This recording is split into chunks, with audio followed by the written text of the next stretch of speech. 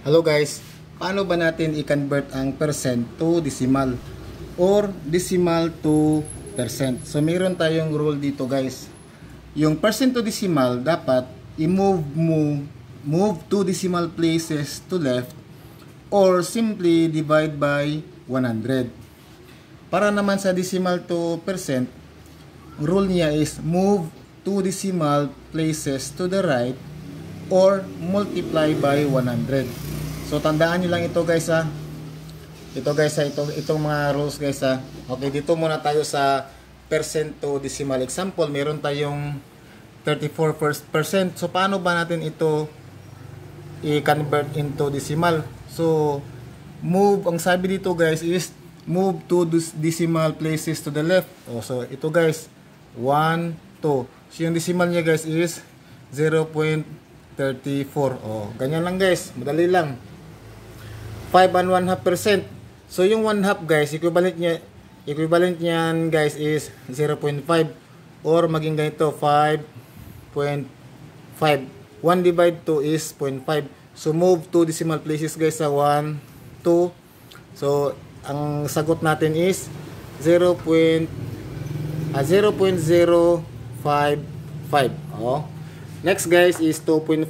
So move to decimal places 1, 2. So ang sagot natin is 0.025.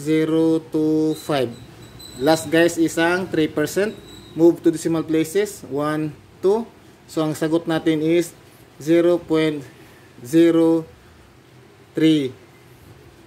0.12 okay tama tama tama okay next is decimal to percent so rule natin guys is move to decimal places to right or multiply by 100 so simple lang guys. Move to decimal places to right. So itong ang given natin guys is decimal. So move tayo ha? 0.05 move natin ha? So the answer is 5 percent. O naging percent na. From decimal naging percent na.